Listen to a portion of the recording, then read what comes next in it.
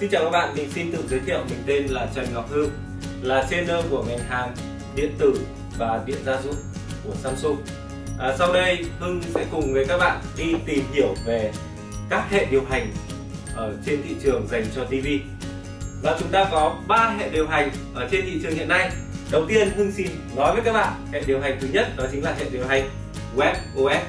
WebOS là hệ điều hành do HP phát triển và à, đây là một hệ điều hành dành cho thiết bị di động. Sau đó, WebOS được bán lại cho công ty X để sử dụng làm hệ điều hành cho TV. Và hệ điều hành thứ hai là hệ điều hành gì? Đó chính là hệ điều hành Android, hay chúng ta hay nghe tới Android TV. Thì hệ điều hành Android TV là do Google phát triển và sau đó Google bán lại cho một công ty tên là B. Và thứ ba, Hưng xin được chia sẻ tới các bạn về hệ điều hành Tizen. Hệ điều hành Tizen là hệ điều hành do công ty phát triển TV số 1 trên thị trường hiện nay tạo nên, đó chính là công ty Samsung. Và đây là hệ điều hành dành riêng cho TV của Samsung cũng như là các thiết bị thông minh khác. Và ngay sau đây, Hưng cùng với các bạn hãy cùng đi để trải nghiệm hệ điều hành Tizen trên chiếc TV của Samsung thì với một thao tác rất là đơn giản bằng việc nhấn nút Smart Hub trên điều khiển của Samsung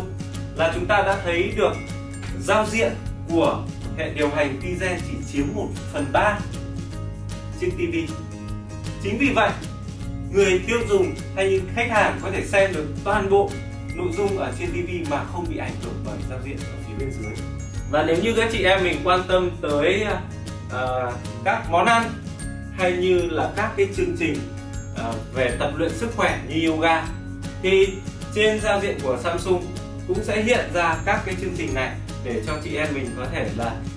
nhanh nhất có thể truy cập được vào các ứng dụng đó để mình uh, thực tập cũng như làm những món ăn ngon dành cho cả gia đình nhà mình.